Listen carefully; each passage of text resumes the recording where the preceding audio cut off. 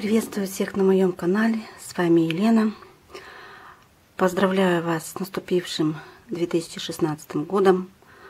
Желаю вам всем здоровья, счастья, благополучия, всех благ. И а, в своем видео в первую очередь хочу поблагодарить Катеньку. Катюша, твою открыточку я получила. Спасибо огромное, очень красивая такая открыточка. Спасибо тебе большое. А дальше в своем видео, значит, хочу выполнить а, просьбу. Так.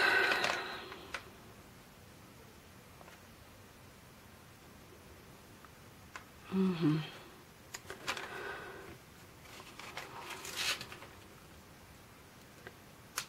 Вот, нашла, значит, эм, просьбу от Елены Воронковой.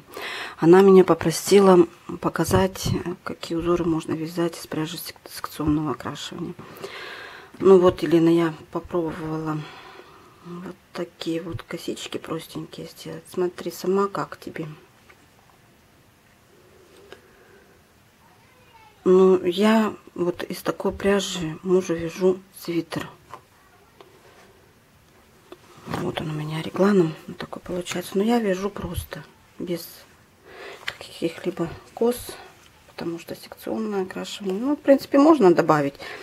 Но Елена вязала жилет, поэтому для жилета, в принципе, можно добавить на полочке какие-нибудь косы. Вот. Так, дальше.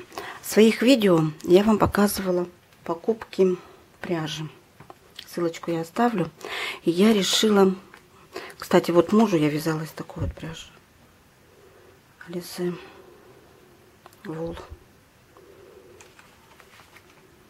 Я также ее показывала в покупочках. Здесь 80% акрил, 20% шерсть и в 100 граммах 200 метров. Очень хорошая пряжа. Вот то, что я связала, Значит, вот здесь, вот. Вот здесь у меня два моточка. То есть вот это вот второй моток. Вот. Получается очень теплая. Вяжется очень легко.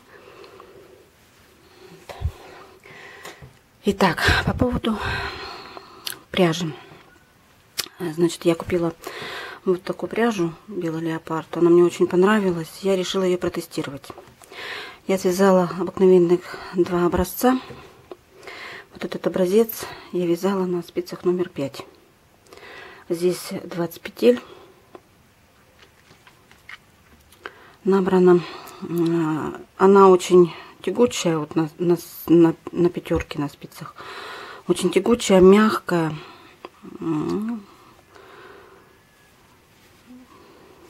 В принципе, я думаю, что на шапку там, допустим, или на шарф можно. На, на большое изделие я бы побоялась вязать на пятерочке, потому что мне кажется, она сильно растянется. Вот это после обработки. После обработки этот образец увеличился только в ширину незначительно, но увеличился, но сам он, видите, он тянется. Сильно тянется, но вот. Дальше вот этот образец я связала на спицах номер три с половиной. Здесь также 20 петель.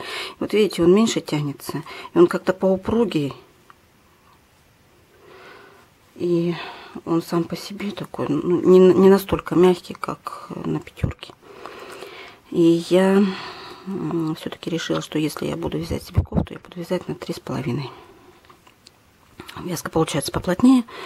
И после обработки также в ширину незначительно увеличилась, там буквально на высоту на 0,5 и в ширину там на пол, на пол сантиметра, по-моему. Буду вязать на три с половиной спицы. Что мне не понравилось? Но это на любителя.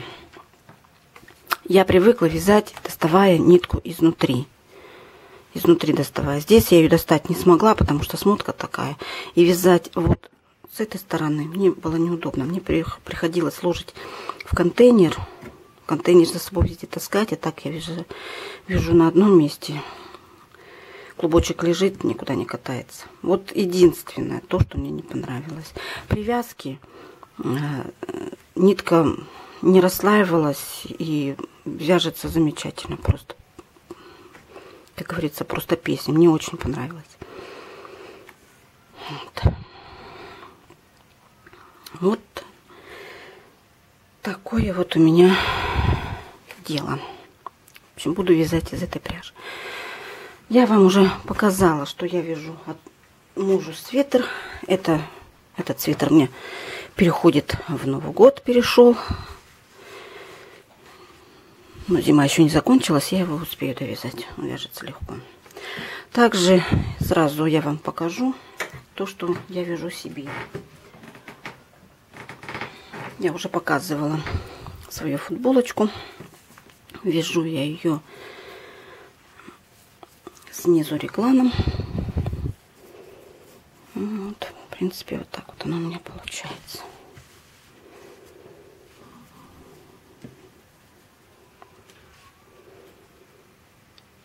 такой маленький рукавчик.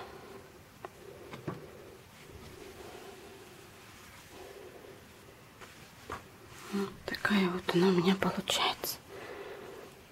Вяжу на очень тоненьких спицах. Спицы 1,65, по-моему. Но знаете, что касается вот этих спиц, в них один очень неприятный минус вот в этом стыке. Вот в этом стыке. Вот здесь. Очень шершаво. Нитка постоянно зацепляется. Не фокусирует. Вот не могу на, фото, на фотоаппарате еще фокусирование настроить. В общем, вот здесь вот, вот чувствуется прям, когда нитка ходит, она он шершавая. Неудобно. Вот этот один минус в вязании. Вот эта работа также у меня перешла в 2016 год. Пока больше я ничего не вяжу. Хочу это закончить.